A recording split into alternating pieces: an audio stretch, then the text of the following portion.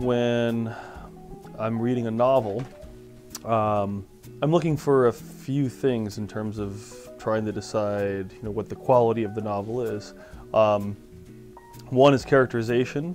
Uh, another is the prose, and, and, these are kind of the two most important things on my mind. So, is the characterization sound? Is it um, is it interesting? Are there compelling characters in the narrative that make me want to keep reading?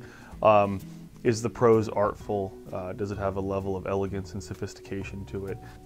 I tend to read more. I, I, I, tend to read literary novels, and I, you know, I say that at the risk of sounding really pretentious, but um, as opposed to, say, commercial fiction that's you know largely driven by plot. And one of the things that distinguishes commercial fiction from literary fiction is that commercial, uh, commercial fiction is plot driven, and characterization is usually in service to plot, and language is in service to plot. In literary fiction, it's the other way around.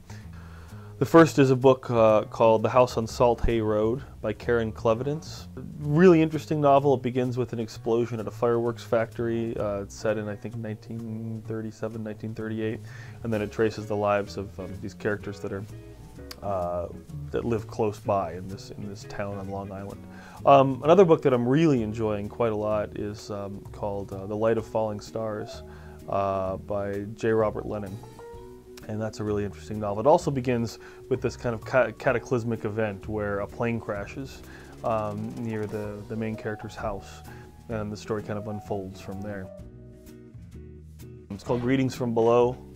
Um, it's a uh, it's a collection of linked short stories.